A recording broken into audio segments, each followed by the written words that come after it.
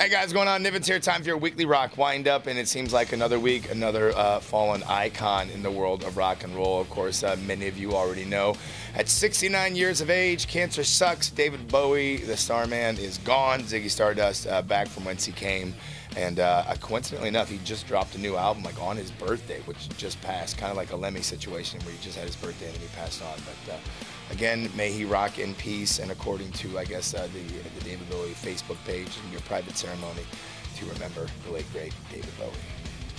And speaking of Lemmy, even though he's gone, he's still in the news. Uh, I guess they uh, they made a character for him uh, in Grand Theft Auto 5. And uh, what is it? Uh, what, what's the, uh, the, the Food and Beverage Magazine officially renames a Jack and Coke the Lemmy.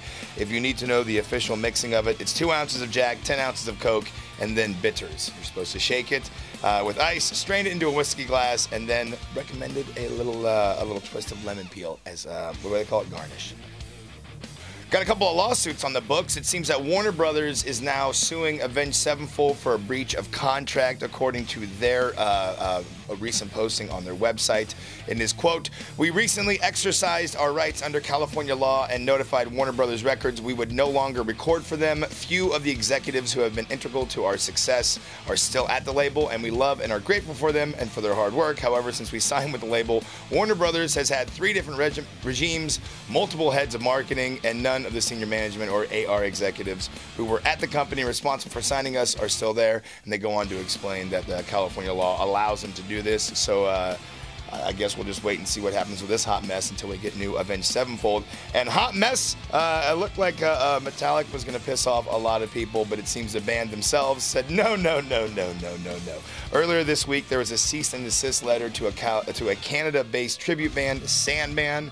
Uh, and uh, according to Metallica, uh, it was a very overzealous attorney. And they've also asked them to ask the attorney to go on to Alaska and not come back. And they are very supportive of Sandman and hope that they continue on with what they're doing.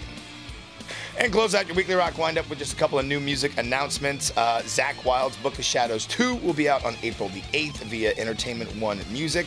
Uh, this is Zakk's uh, so first solo release in 20 years. It's a follow up to, of course, 1996 Book of Shadows. And Chevelle, based out of Chicago, are looking to kick out their eighth studio album sometime uh, this year. They're back in studio working on it right now. I'm Niven. Thank you much for tuning in into Weekly Rock Windup. Have a great weekend doing whatever it is that you do. And, of course, as always,